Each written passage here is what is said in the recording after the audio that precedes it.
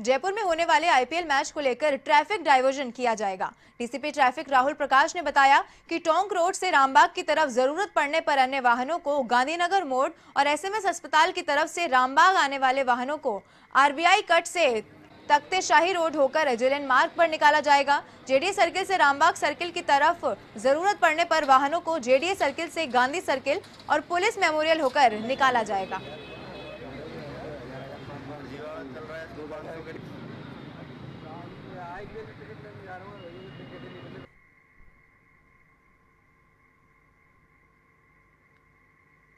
देश और दुनिया की हर छोटी बड़ी खबर के लिए सब्सक्राइब करें एवन टीवी न्यूज़ साथ ही बेल आइकन को प्रेस करें ताकि आप पा सकें ताज़ा खबरों की नोटिफिकेशन